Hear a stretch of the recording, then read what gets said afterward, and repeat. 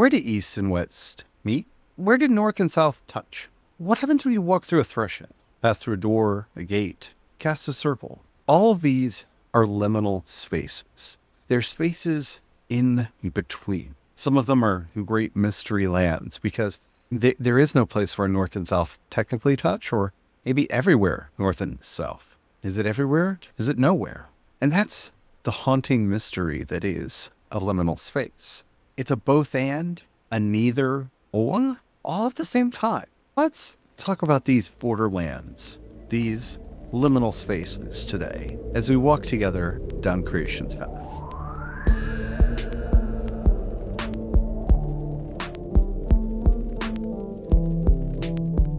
Hello, everybody. My name is Charlie. I am a Christopagan druid and priest of Bridget. Hello, everyone. I am Brian. I'm a partaker of the hypnagogic wine. Speaking of liminal spaces, that's one of my favorite ones. That moment, that space when you are not awake and you are not asleep.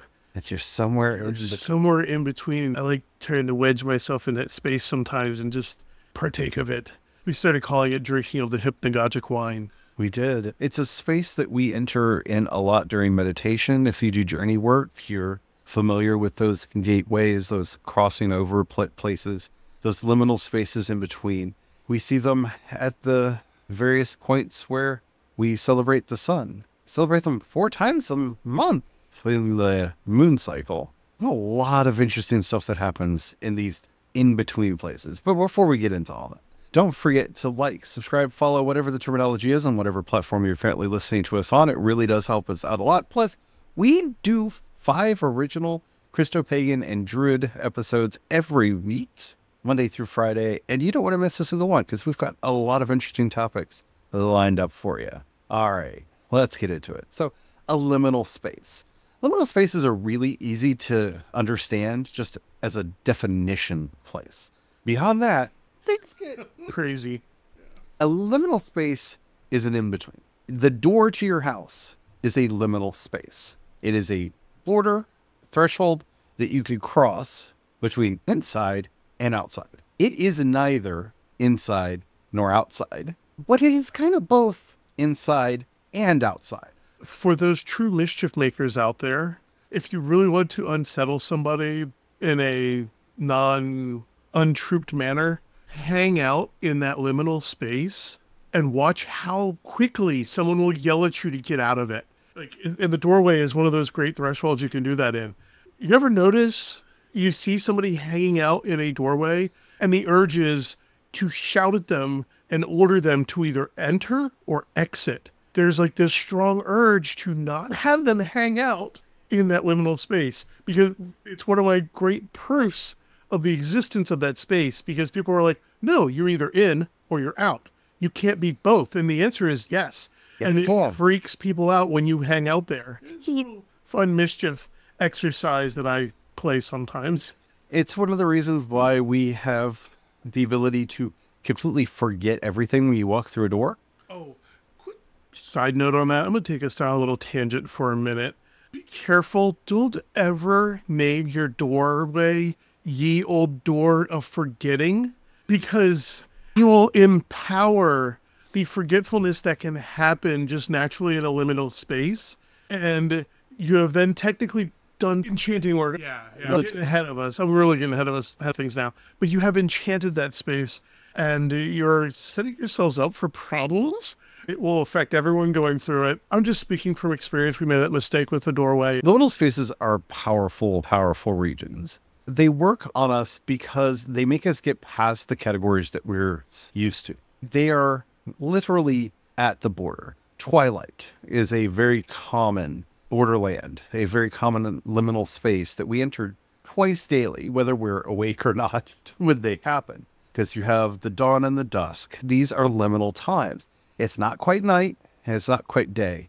Dawn is one of my favorite times in the world. Now, a lot of people talk about sunsets, and sunsets are pretty. But as somebody who's a bit of a night owl, one of my favorite things to do is to be out there right as the sun's coming out. I've talked before about my love of the doing the vigil on the summer solstice. We sit out all night waiting for the first rays of the sun to, to come in to welcome the sun as it's just coming up and we're just getting into that period of the year, there's something just magical. The sky is dark, but you can see the light on the horizon. The birds start anticipating the arrival of day, and the insects start to quiet down, and the birds start to sing. This transition that is just taking over all of nature as this magical moment as we're moving from the night into the day. One of my favorite things to witness, to be a part of. I, I really love watching the sunrise. But why are liminal spaces important?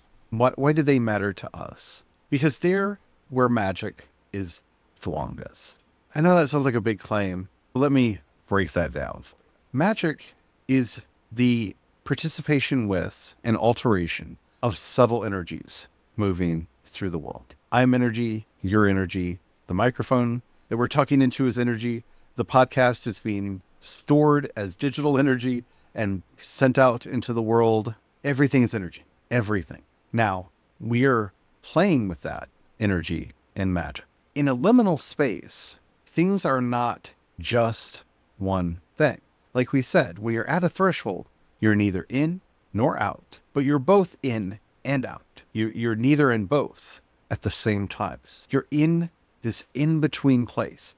Dawn is neither night nor day. Sunset is neither night nor day. You're in these places of in between. And it's in the in between as one thing is becoming another. Everything is in flux. We can get in there and play and really do the workings that we want to do. Now, that doesn't mean you have to schedule all of your magics for dawn or dusk. That's not how this works. There are a lot of liminal spaces. There's a lot of magic that's done at doorsteps. Our protection charms are on the doors because that door, in and of itself, it's a permanent liminal space. When you're cleaning your house, you sweep out, you blow the cinnamon out the front door towards the south to call prosperity in. You're in that liminal space, you're in that in between space because you're trying to take advantage of that unset, unsettled energy of the in between. This is why a lot of magic takes place on the inside of us in the most amazing liminal space that we have access to, and that's our imagination and our journey, both of which are vibrant liminal spaces. Your imagination is both everything you can imagine and nothing at the same time. Let me shift your focus for a minute on that uh, and give you a fun example to help clarify understanding of liminal spaces. We're gonna we're gonna share some wisdom from a toddler. The toddler wants a thing, and the parent has said no. And the toddler is now going to evoke their magic and the use of liminal spaces to shift the parent into saying yes. So the toddler draws a breath and holds it. This is pausing their entire being in a liminal space between inhaling and exhaling. And they are going to pause themselves in this liminal space until the parent yields, thus giving them the toy or treat or whatever thing that they wanted. And this is pulling on that magic in that liminal space. It's it's kind of a silly example and a, kind of a, a funny example. And for those parents out there, you realize, oh yeah, sometimes it worked so well and sometimes it didn't. And the, the reason why it works so well and the darker aspects of that is because you're at a point of existing and not existing liminal space. And the, the child is challenging your psyche, putting forward that, that question that they said earlier. If you truly love me, you'd give me this thing. If you truly love them, if you truly wanted their existence, you would yield that over to them. It, it's one of the first and magic that we naturally, natively, natively, naturally use. Yeah, it's manipulative. As oh yeah, and some magic is manipulative, and we need to be careful about that. Yeah, but it is an interesting example to reflect back upon of that liminal space. It's why a lot of that breath work, the liminal space between that inhaling and exhaling, is is where the magic, where the magic is power.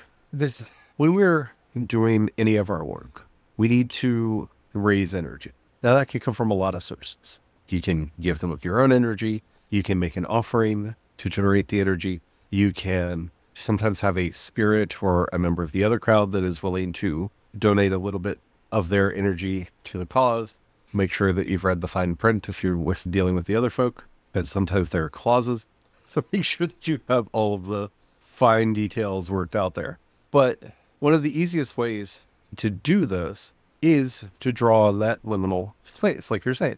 It's why a lot of incantation, a lot of spell work has breathing in it. You're either breathing faster or you're breathing slower or you're doing something with your breath to generate that energy for the work that you're doing.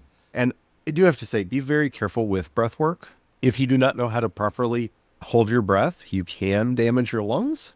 Just be mindful of that.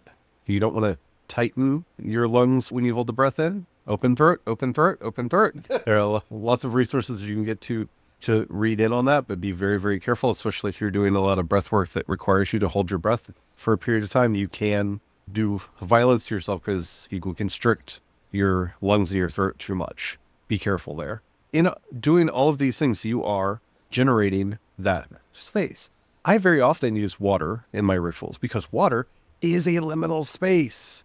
It has this mirror surface on it. I also like using mirrors for the same reason. It has this mirrored surface on it where the outside and the inside are, you can see the outside reflected in the surface. You can see what's underneath through it. There's this in, between place, that very surface of the water that is both and and neither nor, because it's not the room that's being reflected into it or the candlelight or whatever, and it's not whatever's in the bottom but you can see it reflected in that space, that thin layer on the top. There are a lot of ways to access liminal spaces. They are a wonderful way of generating power. They're an easy way to generate power when you're trying to do magical work because they just are. In some ways, the weird way to say it, but I like science fiction. They're kind of the zero point energy module of actual real world magic, putting in a doorway, putting in a threshold, drawing a circle, like I said, using water, using these special times, whether it's the phases of the moon, the sun, or the time of day, the dusk or the dawn. These are powerful places. This is why candle and fire work is so much there because the flame itself is the liminal space between the physical object and all of the atoms that have then be, been released. Because the fire is, you live in illusion? Yeah. It, it, it is the plasmatic heat it's not the wax. It's not the wick.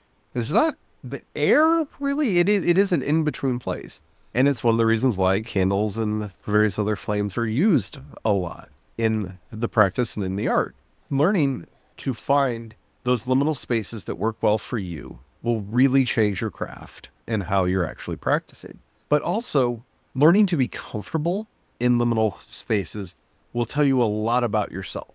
I have met people that find dusk, dawn, that find those twilight hours unnerving. That's a point for self reflection there. If you find those times, they make your skin crawl. They don't feel quite right. And you don't like doors. I've known people that will just kind of hop through a door. They don't want to spend any time at all in that in between place. Why? That says something about your own discomfort with those places of spiritual darkness, which we've been talking about a lot in the last couple episodes those places of unknowing where things are neither one thing or the other. That's a good sign that this is something that you need to do some work on and ask yourself, well, what is it about that? And I'm being very specific about those liminal spaces because there are a lot of reasons to have issues with water or fire, for example, that have nothing to do with the liminality of either of those things.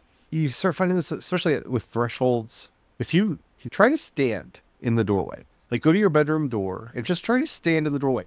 How do you feel when you're there? Because this will help you discern things that you might need to work on. Because really dig into it. If you feel uncomfortable just standing in the doorway, why? Why is the most powerful tool that you have in your belt if you are practicing magic or mysticism for that matter? Why? Why do I feel uncomfortable standing here? It's not doing anything to me. Mm-hmm. Why why is it uncomfortable? Why is it unnerving to me? Ask yourself the questions, dig into it, find out what the answers are. Then you will learn a lot about yourself and help yourself to past whatever those issues are. May not be an easy road, but it is a road that you may need to walk. It, it's very revealing because a lot of this work really is about us learning to be comfortable with ourselves. This is, I think, the underrated part of magic when we have this very spiritual, material community that has developed around magic where it's like, here, let me teach you how to cast a money spell or how to set up a wealth altar or how to get that person that you like to fall in love with you. Like all that kind of magic has always been with us and will always be with us. But the vast majority of our magical practice is actually doing the hard work of learning to be comfortable with ourselves and who we are and really taking on the power that that provides for us because that is a very powerful thing. And so start asking yourself those questions, putting yourself in those spaces because these are safe spaces to enter. Standing in your bedroom door or your bathroom door, and maybe try this in several different doorways to be quite honest, because you may have a different reaction in a bathroom than you do in a bedroom, and that'll illuminate something about those spaces. If you have a special room that you do your magic in, stand in the doorway there. How do you feel? What's going on? Stand at the door to your house. How do you feel? You really will start discovering aspects of yourselves that you are not normally cognizant of because that's what happens in liminal spaces. Because everything has this both and, either or, neither, neither quality to it, everything gets jumbled up. And you start seeing, in some ways, clearer than you did before, and in some ways, not so much. Because the other thing that happens in liminal spaces is the things that we believe are certain and set, oh, they don't pass that threshold very well, do they? They start showing their component parts. They start showing how they, like everything else, is a hodgepodge of other things that we thought was a unit of one is actually a one from many. And you'll have that experience a lot the deeper you get into the practice. So start playing around with these ideas. I think a really good way to do this is scrying, but I am biased. I love scrying. Scrying can be done very simply with setting up a bowl of water and a candle or a light, preferably a light that flickers. So if you get an artificial candle, make sure it's one of the flickery ones that kind of mimics firelight because you want something that's going to cast patterns into the water. And look and see what you see in that liminal space, in that threshold on the surface. Because yes, we can use scrying for a lot of things, but we can also use scrying to really learn about ourselves.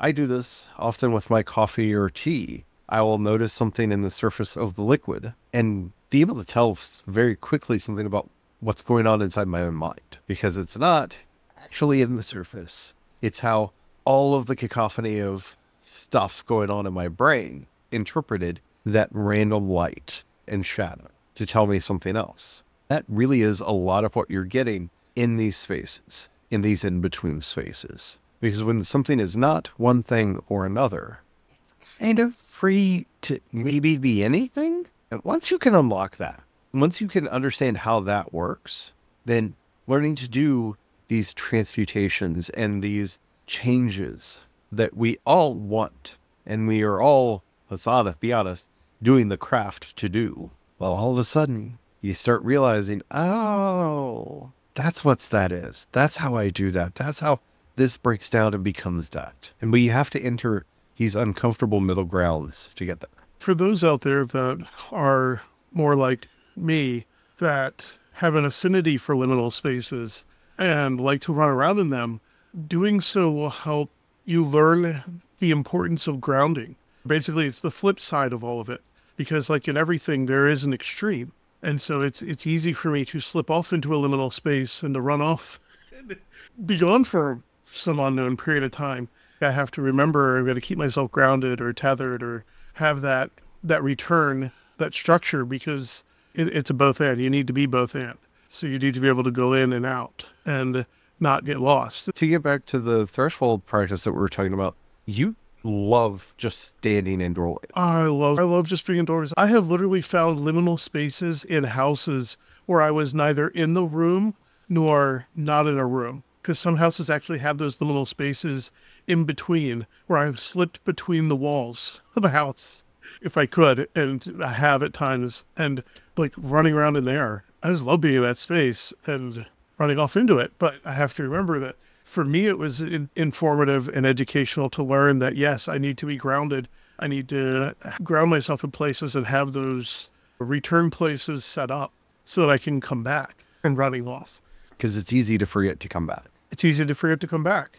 What are your relationships with liminal spaces? Do you have any favorites? Like I said, my, mine is that bowl of water. I love scrying. I really, really, really do. And I use I, I love looking at the surface of a lake, pond, a river, a bowl of water, a bowl of soup, a cup of tea, what, what, what have you. I find myself just gazing into that surface to see what I can see. Have you thought about liminal spaces before? Is this a new term for you? Feel like it is for some people. Let it let us know down in the comments. If you're listening to us on YouTube or Spotify, you can leave a comment right there. If you're listening to us anywhere else, even if it says you can leave a comment, you can leave a comment there because engagement is magic, but they don't let us know. So take that comment and head over to creationspaths.com, click on chat, and you can leave a comment there. And if you see it, respond to you and continue the conversation there. While you're there, if you happen to have a few dollars you can pass our way, don't you can think about signing up uh, and becoming a member. You can also support us on Patreon and Ko-fi. I am CD Dorsett on both. That money really does help us out. It helps us to keep food on the table, a roof over our head, and the lights on. But if you don't have any money, don't worry about it. Just share what we're doing with other people. That helps us in a lot of ways too. I love seeing the growth that we've been having and the engagement that we've been getting in the community. It really does warm my heart a lot. And as we are entering this time, the two gods that we have been talking about a lot this season are liminal deities. So we ask for the grace and the guidance of the Queen of the Wind and the Hunter to take us through all of those in between places and to find the paths and all of the treasures that we might find there so that we may be stronger in ourselves, stronger in our work, and more effective in the craft. Amen. Amen.